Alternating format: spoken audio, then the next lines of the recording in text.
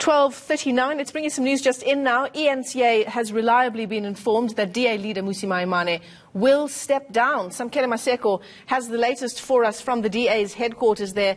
Uh, and Samkele, that briefing by Mmusi Maimane scheduled for 3 o'clock, but we've got some information that we can tell our viewers.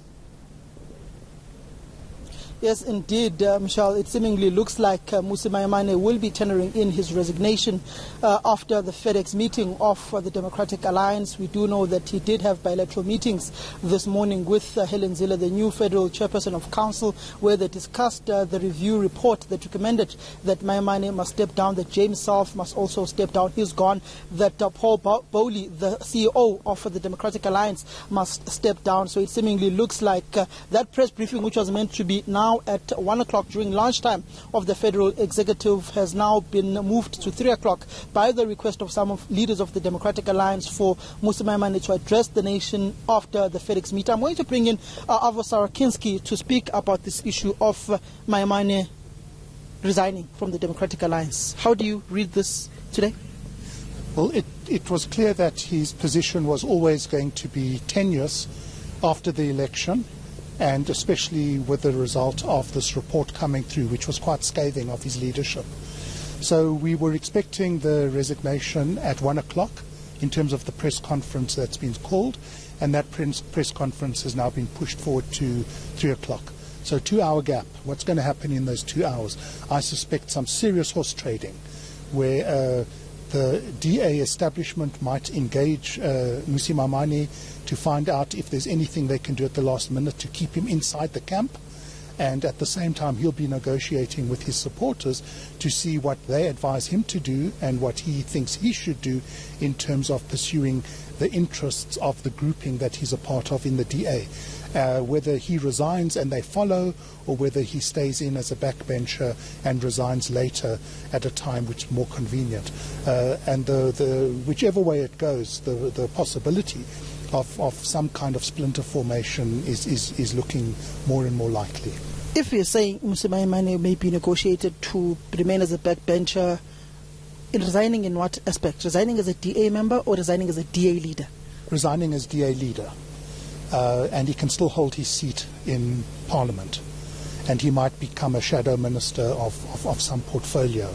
But uh, he, he, he, wouldn't have to leave the DA and, and all offices held that are associated with the DA, like being an MP. So if he resigns from the DA, he's going to have to resign his seat in Parliament as well. What, where does this leave the DA's transformation agenda, particularly after that report was so scathing on the race topic that uh, sometimes when debates are heated, the race card is pulled upon. Mmusi Maimane wanted to build a democratic alliance that is more inclusive of all South Africa's uh, demographics. Where does this leave this project?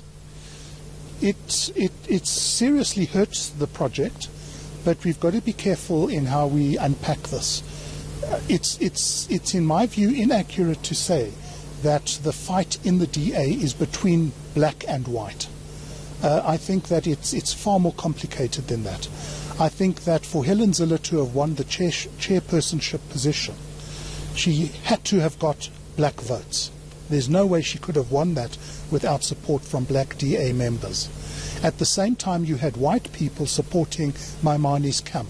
So that tells you that race is far more complicated in DA internal dynamics than a, a simple black-white would, would suggest.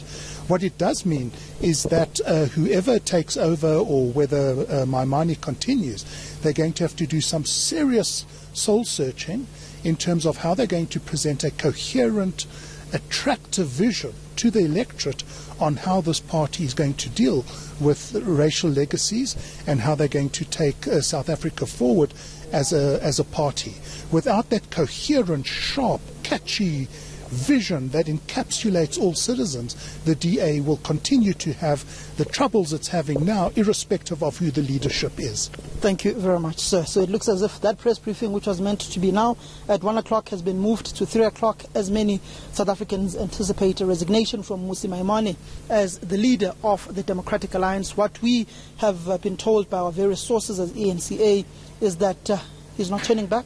He's handing in his resignation, but there is a lot of horse trading currently going on behind those closed doors which my colleague Kamukelo is showing you now, a lot of horse trading is going on. And may see Mmusi Maimane resigning or not resigning should he be convinced to stay on. But he's seemingly sticking to his guns and leaving as per the recommendation of that panel review report on the performance of the DA. Yeah, oh, to be a fly on the wall in uh, the room there as that horse trading continues. Thanks very much for that. Samkele Maseko.